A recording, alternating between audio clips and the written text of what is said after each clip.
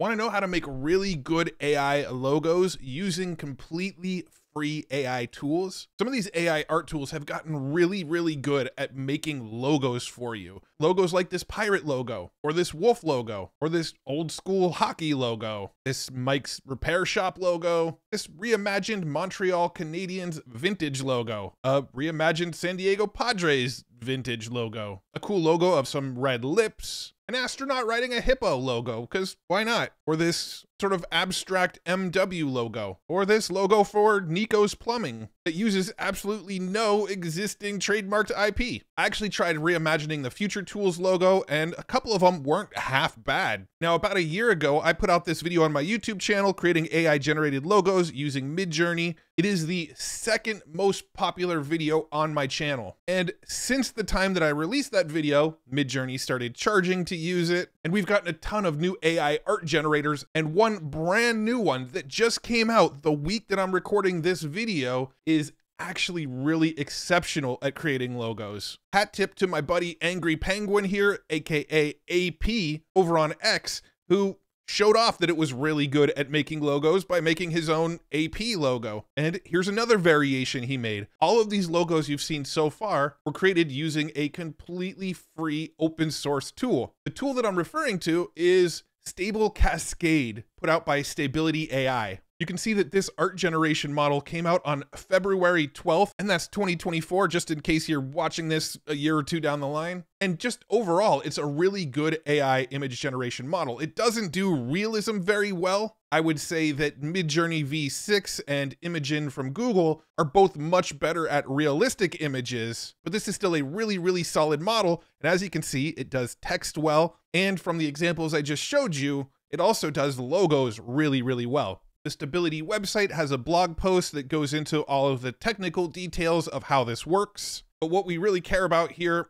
are these graphs. So the prompt alignment, i.e. how well it adheres to the prompt that you give it, beats out Playground V2, SDXL Turbo, SDXL, and Wurstchen V2, which by the way, that Wurstchen architecture is actually what this model was sort of built on top of. So this version of it is quite a bit better, I suppose, than the previous version of it. As far as aesthetic quality, it ranked a little bit lower than Playground V2, but much better than SDXL Turbo, SDXL, and the Wurstchen V2. As far as speed when prompting, it is way faster than SDXL and Playground V2, but not quite as fast as SDXL Turbo. It also looks like it'll work with control nets, in painting, and even variations given an original input image. Again, I'll make sure this article is linked up below, so if you do want to get into the weeds with it, you can read more about it, but you probably clicked on this video because you want to know how to get logos out of this. I'm going to show you two ways to be able to use Stable Cascade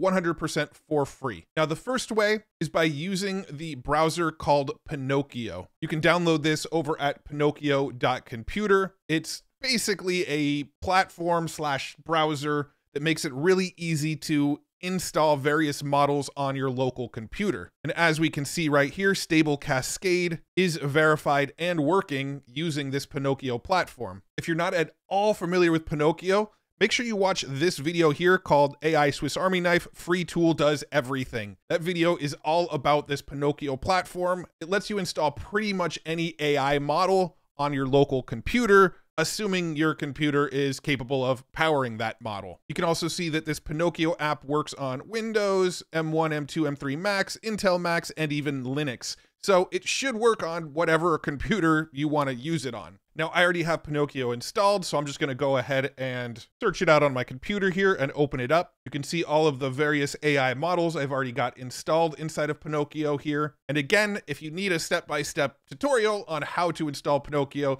I do walk you through it in this video right here, the AI Swiss Army knife video. With that being said, it's pretty self-explanatory. Now, opening up Pinokio, if I click on this Discover up in the top right here, you can see all of the models that are available. At the time of this recording, Stable Cascade is towards the top because it was just recently released. So I'm going to click on that. It gives me the option to download Stable Cascade. So I'm going to go ahead and download it. After a few seconds, it shows me Stable Cascade is downloaded and now I can install. I'll go ahead and click install and then I'll click run and now it's going to start the install process. This might take a few minutes because it is going to download some things from the web, including some various image weights and things like that, which are multiple gigabytes. So step away, grab a sip of water or something, and just let it do its thing. After a few minutes, when it's done installing, on my homepage of Pinokio here, you can see I've got stable cascade now. I can click start, and then up in the top left, simply click run. And for whatever reason, it doesn't launch automatically for me. I think this is probably something that this Pinokio app will fix eventually. You would think you'd press run, it would run some code and then launch the browser. But for whatever reason, it's not doing that. Instead, it's giving us this thing that says run on local URL. And then you can see the URL here. If I click on this URL, it opens Stable Cascade in my browser here. Now, this is totally local. This is not running in the cloud. This is not online. I could unplug my internet right now and this would work. And if I give it a prompt like the suggested example, the spirit of Tamagotchi wandering in the city of Los Angeles, click run, and this is the final image we get. Now, while actually recording my videos with my tool called vMix, and trying to run this at the same time, it actually really bogged down my computer. You can see my GPU usage was at 91%, while vMix, my recording software, was 7%, my GPU was pretty much maxed out. Here's another screenshot showing the process running on my computer with my GPU totally at the very, very top of the line there. Even with my NVIDIA GeForce 4080 with 16 gigabytes of RAM. It took about 20 minutes to process this. So Pinokio is a good way to install it on your computer for free just keep in mind, you need a pretty powerful GPU to be able to run this properly. It's also quite possible that inside of Pinokio, the way the install process happened, maybe it wasn't totally optimized. I'm not sure. It just took a really, really long time. So for most people, you're probably going to want to go the other route that I'm about to show you, which is using Hugging Face. If you go to huggingface.co, search for stable cascade, you'll see up here stability AI slash stable cascade. We can click in, see this model. The information that's here is pretty much the same information that's on their GitHub page. But then over on the right, you can see a little area that says spaces using stable cascade. And there's a handful of spaces using it right now. Let's go ahead and use the multimodal art slash stable cascade. And you can see we get pretty much the identical user interface. We're just in the cloud now. We're on Hugging Faces clouds. Now, every time you enter a prompt on one of Hugging Faces clouds, at least with Stable Cascade, it's going to look for a GPU to process it on. Sometimes you do have to wait a while for a GPU to become available, before it starts processing. So if you have a really good GPU, install it locally. You don't have to wait for a GPU to open up. Otherwise, use the Hugging Face version. If you want it to run as fast as possible, you can come up to these three dots up here in the top right corner of Hugging Face and come down to duplicate this space. Under space hardware, select one of the GPU options down here, but keep in mind that it does cost you some money to use. So let's say you grab one that's $10.80 per hour, their most powerful GPU available, and you end up using it for 30 minutes, you will end up paying about $5.40 to be able to use that GPU. But let's go ahead and just try it on the free version, see how it's going right now. And again, this video is all about creating logos with it, and you don't have to do really any prompt engineering anymore. If you watch this old logo video that I made here on YouTube, there was quite a bit of prompt engineering involved. You had to enter a whole bunch of special extra characters to get the image just right. Now it's pretty easy. I can just type a logo for an auto repair company called Road King. I'll click run. You can see up here, we get our waiting for GPU, but pretty quickly we got successfully acquired. So the GPUs right now, as of recording this, are coming fast.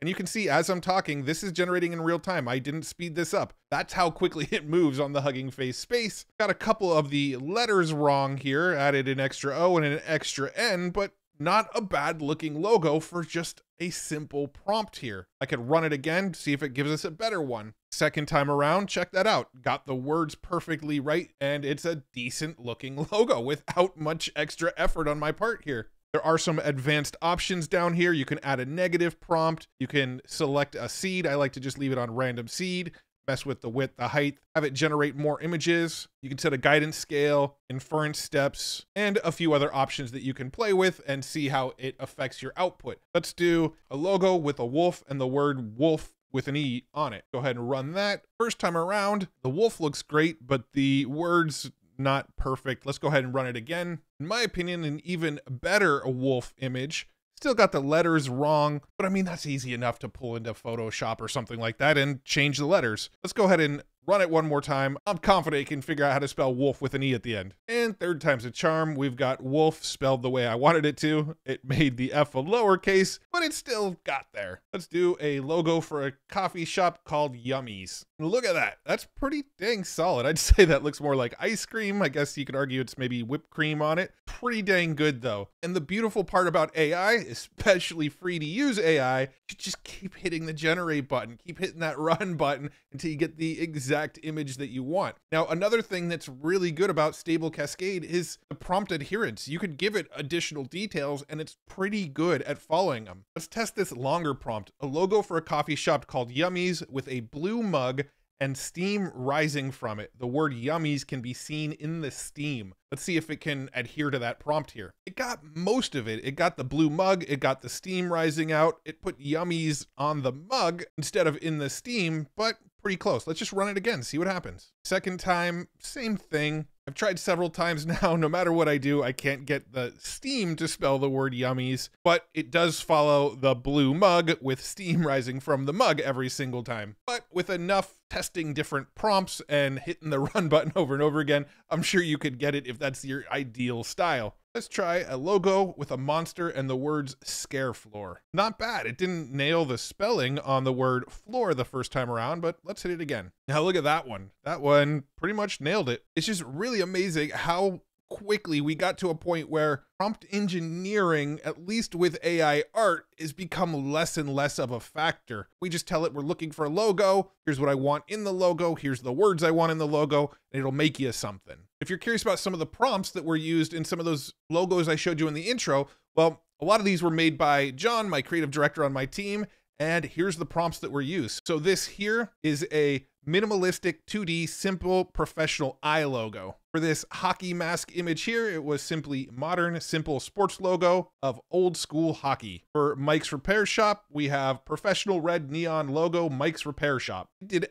add an extra repair word in there, but not bad. For this one right here, John's prompt was Montreal Canadiens vintage logo rework. He then took on a Padres vintage look with the prompt San Diego Padres vintage logo rework and came up with this one. For these lips right here logo of red sexy lips. And this pirate logo that i thought was really really cool looking the whole prompt logo of pirate. And it came up with this image. Not bad. Now, if you want an extra step and you really, really want to get polished with your logos, there's a couple other sites where you can actually convert these into a vector graphics. There's vectorizer.io. This site costs about five bucks to use for a single week or 10 bucks to use per month. Vectorizer.ai, 10 bucks a month to use as well. Any image that you upload into this tool or this tool, Vectorizer.io or Vectorizer AI, will convert the image that you just created into a vector graphic, which makes the graphic infinitely scalable without quality loss. And you can pull it into tools like